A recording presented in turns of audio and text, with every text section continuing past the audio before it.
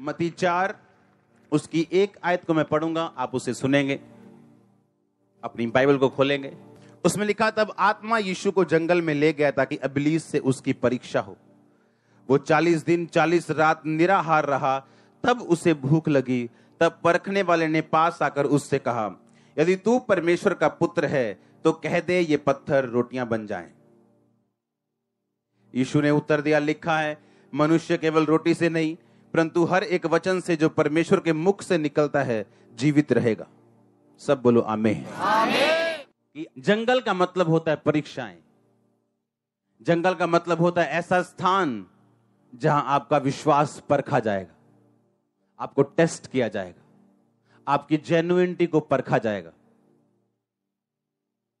मैंने कहा जंगल एक ऐसा स्थान है जहाँ आपका टेस्ट लिया जाता है। ये एक ऐसा स्थान है जहाँ आपकी जेन्युनिटी को परखा जाता है। आप सच्चे क्रिश्चियन हो या नहीं, सिर्फ़ इसी जंगल में ही पता लग सकता है। और बाइबल कहती, जंगल में लेके जाने वाला यीशु मसीह को शैतान नहीं था, बल्कि उसी परमेश्वर का आत्मा था जिससे वो जन्मा था। परमेश्वर की आत्मा ने बाइबल में लिखा, मती में पढ़ते हैं तो थोड़ा अलग लिखा लुका में पढ़ते हैं अलग अलग पुस्तकों में पढ़ते हैं तो उसमें लिखा, फोर्सफुली, धक्के के साथ, पवित्र आत्मा ने यीशु मसीह को जंगल की ओर भेजा। धक्का दिया उसको, फोर्स किया उसको, कि तू जा जंगल में, ताकि अबलीस से तेरी परीक्षा हो। कई बार परमेश्वर आपकी अगुवाई करता है इन जंगल के स्थानों में, परीक्षाओं में, सताव में, दुखों में। आपको नीचा करने के लिए नहीं, आपको गर्म रखने के लिए। स्ट्रांग करने के लिए।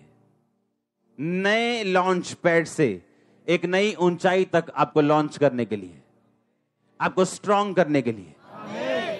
आप आप नाश नहीं होंगे। आप यीशु मसीह के लहू के साथ खरीदे गए हैं। बाइबल कहती है कि 40 दिन और 40 रात वो निराहार, यानी कुछ नहीं खाया उसने। और लिखा, जब ये 40 रोज़े बीत गए तब उसे भूख लगी। और परखने वाले ने कहा, ये पत्थरों को बोलिए, क्या बन जाए? चालीस दिन के बाद ही क्यों? तीस दिन के बाद क्यों नहीं? उसे भूख दस दिन के बाद क्यों नहीं लगी? पंद्रह दिन के बाद क्यों नहीं लगी? चालीस दिन के बाद ही क्यों? लेकिन जब रोज़े बीत गए तो उसे भूख लगी और परखने वाला उसकी परख करने के लिए आया। वो कब आया जब चालीस रोज़े खत्म हो चुके थे? और उसको मालूम था कि अब ब्लेसिंग वो सामर्थ, वो अभिषेक बहुत नज़दीक है। वो सिर्फ़ इतना नज़दीक था कि यीशु मसीह के के परखे जाने के बाद वो रिलीज़ होने वाले था यीशु मसीह के ऊपर।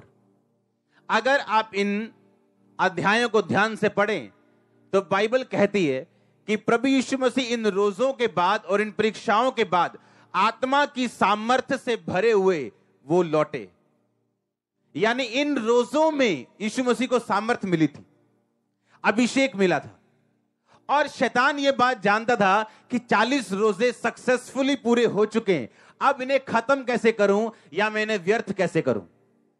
कई बार जब आप अपने लाइफ के पॉइंट में होते हो आपका ब्रेक थ्रू नज़दीक है, आपकी ब्लेसिंग बड़ी नज़दीक है।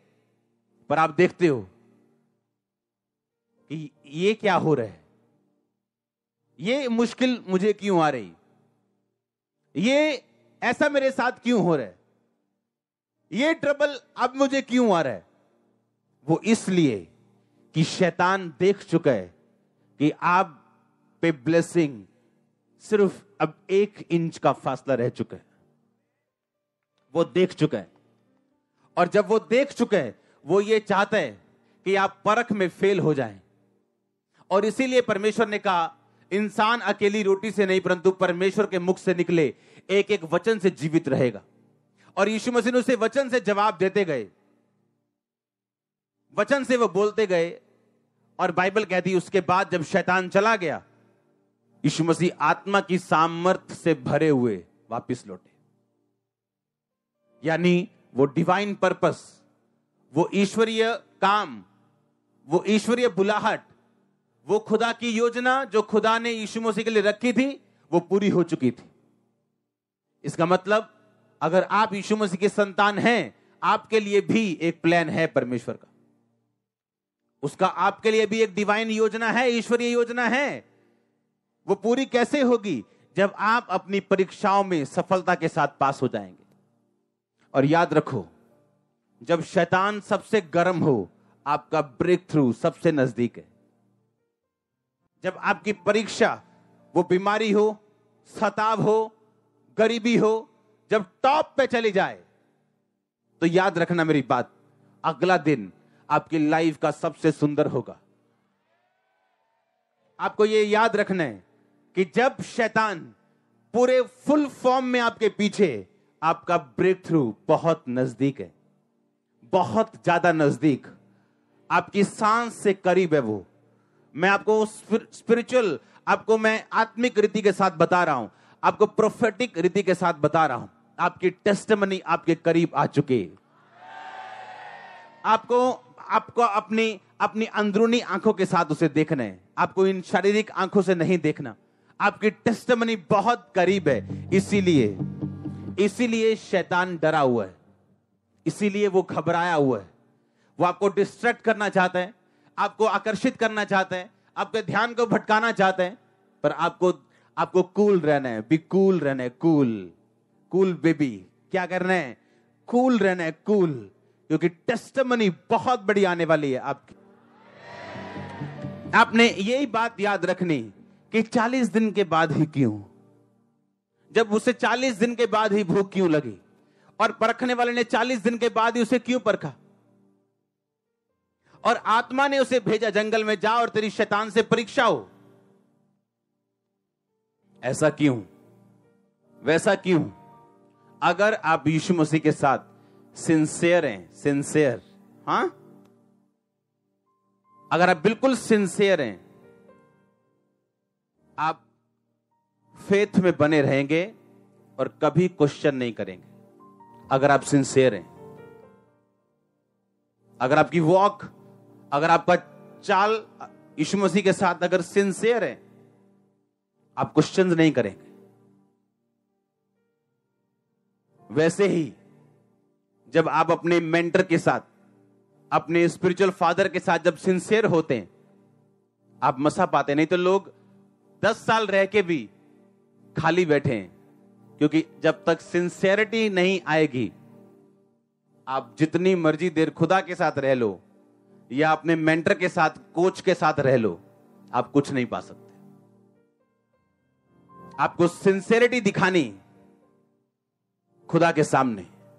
आमे कि आप जेन्युनली उसको फॉलो कर रहे हैं। आप हार्टली उसको फॉलो कर रहे हैं। एक प्रेशर एक दुख, एक झटका आपको परमेश्वर से हटा नहीं सकता। अगर शैतान आपको बीमार करने की कोशिश करेगा और आप खड़े रहेंगे तो हीलिंग की नदियाँ भी परमेश्वर बहाएगा। अगर वो एक बंदे को आपके खिलाफ खड़ा करेगा और आपकी बेइज्जती करेगा, खुदा दस लाख खड़ा करके आपकी इज़्ज़त करेगा।